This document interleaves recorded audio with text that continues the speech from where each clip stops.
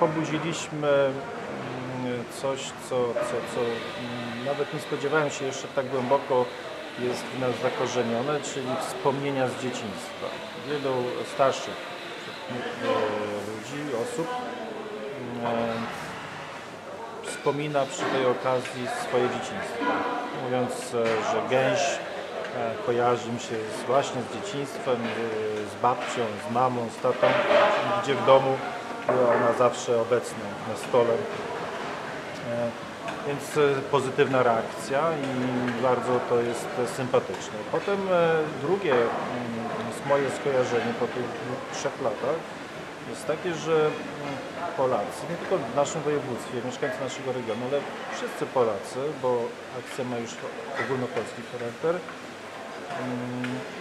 mam wrażenie, jakby oczekiwali na taką propozycję, żeby mm, święto narodowe 11 listopada połączyć ze spotkaniami rodzinnymi.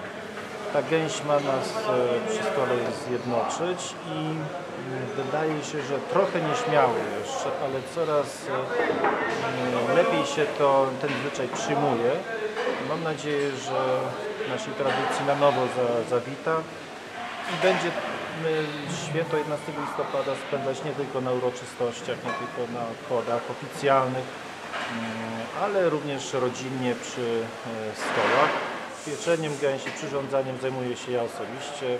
Najczęściej jest to takie standardowe danie e, gęś w jabłkach, w majeranku. Mm, No ale wymaga odpowiedniego podejścia. Piekę ją zawsze w niskiej temperaturze, 150 stopni, długo. Nie trzeba czekać, ale dzięki temu jest ona smaczna, soczysta, a w domu przez połowę dnia do obiadu piękny zapach, bo gęś jest bardzo aromatyczna. Jeśli jest w piekarniku, to roznosi się ten zapach po całym domu. Przypomina, że jest święto, niedziela, jest jakieś e, fajne wydarzenie rodzinne. Pomysł z adopcją statka wziął się z naszego balu charytatywnego, e, który organizujemy w Toruniu, Bydgoszczy co roku. Jednym z przedmiotów, który licytowaliśmy, była, było właśnie stado gęsi.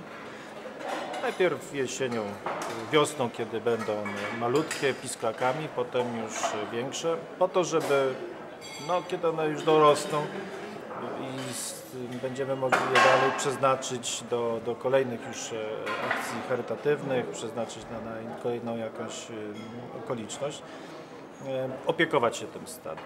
No i tak jakoś się zdało, że nikt nie chciał się podjąć tego tej licytacji. Ono tak trochę zostało e, samo sobie. No i wszyscy na mnie spojrzeli na tym balu, że powinienem je zaadoptować. Więc e, e, wylicytowałem to, te, to stado. No i w ten sposób e, e, powstał taka, powstała taka, taka anegdota o tym, jak to adoptuje stada gęsi. Mam swój dom, swoją zagrodę, ale ponieważ było 15 tych gęsiaków, y, myślę, że z ogródka niewiele by zostało. One po prostu zjadają dokładnie wszystko, poza truskawkami, co ciekawe.